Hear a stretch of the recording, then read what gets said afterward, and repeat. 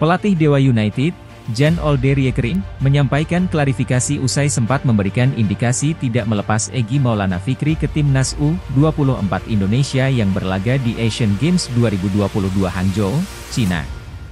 Hal tersebut diungkapkan oleh Jan Olderiekerin seusai laga pekan ke-12 Liga 1 2023 hingga 2024 antara Dewa United versus Bayangkara FC yang berakhir 2-2 di Indomilk Arena. Tangerang, Jumat, 15 September 2023, malam.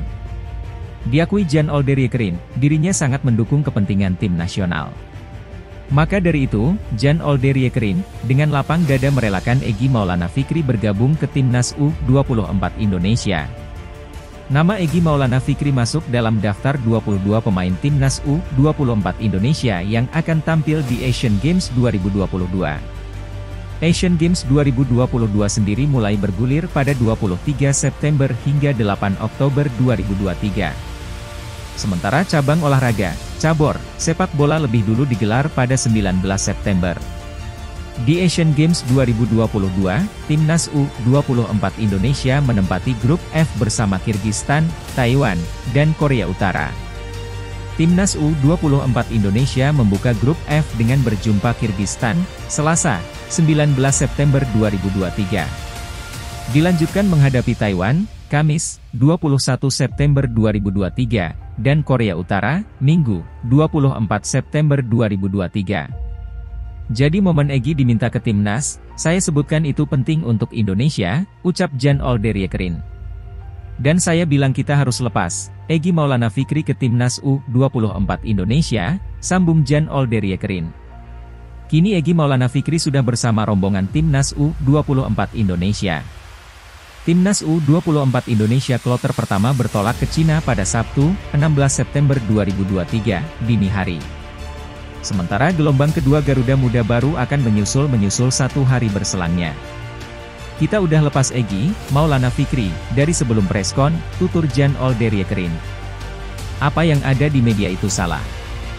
Saya pelatih Dewa United dan saya ingin yang terbaik untuk tim ini dan saya juga inginkan yang terbaik untuk timnas, sambung pelatih asal Belanda tersebut. Sebelumnya, Egi Maulana Fikri lebih dulu memperkuat Dewa United pada laga kontra Bayangkara FC. Mantan pemain Lehia Gas itu tampil selama 86 menit. Egi Maulana Fikri digantikan oleh Septian Bagaskara. Diakui Jan Olderiekerin, Egi Maulana Fikri merupakan pemain penting bagi Dewa United. Semua pelatih, mau main dengan pemain terbaiknya, saya pelatih Dewa United, tutur mantan pelatih Galatasaray tersebut. Jadi saya coba untuk mencoba yang terbaik untuk Dewa United. Saya juga harus menyesuaikan dengan budaya dan situasi sepak bola negara ini, Indonesia, sambung Jan Olderiekerin. Sebelumnya, dalam sesi jumpa pers jelang pertandingan melawan Bayangkara FC, Jan Olderiekerin sempat mengisyaratkan enggan melepas Egi Maulana Fikri ke skuad besutan Indra Syafri itu.